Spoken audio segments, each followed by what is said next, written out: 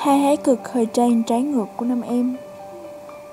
Lúc ở nhà và đi hầm đỏ, Ghi điểm bởi nhà sách ngày càng hăng hạn Nam em thời gian gần đây nhận được nhiều sự quan tâm của người hâm mộ.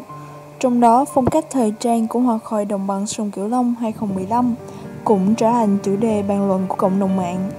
Theo dõi trang cá nhân của người đẹp, Dân tình nhận thấy phong cách thời trang của người đẹp khi ở nhà và dự sự kiện có sự khác biệt rất lớn.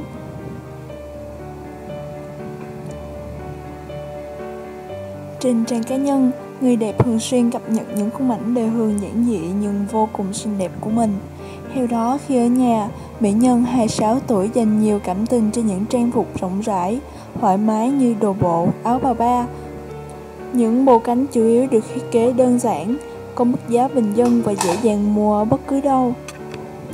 Bên cạnh đó, những bộ cánh nữ tính dễ thương như áo thun kết hợp với váy yếm họa tiết cũng lọt vào mắt xanh của nữ diễn viên phim loto Khi đó, cô điểm bởi hình ảnh giản dị nhưng không kém phần rạng rỡ. Dù không lên đồ khoe lợi thế hình thể, không giày cao gót, giọng ca trả lại thời gian vẫn tạo dấu ấn nhờ hừng sắc tràn đầy năng lượng.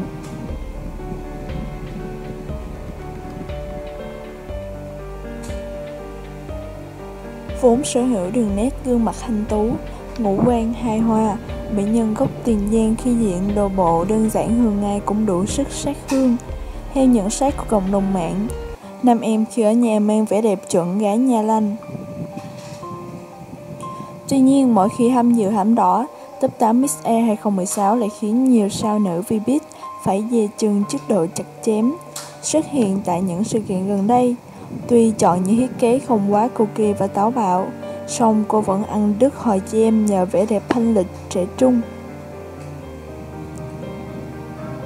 Không cắt sẻ nhưng thiết kế váy ngắn giúp cô khoe trọn đôi chân vừa dài vừa hôn đáng mơ ước. Trước đó, nam em luôn là tâm điểm công kính truyền thông mỗi khi xuất hiện trước công chúng.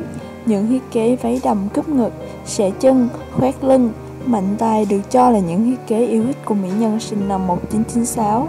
Qua đó, người đẹp khoe chọn bờ vai trần cùng đôi chân kiếm nhật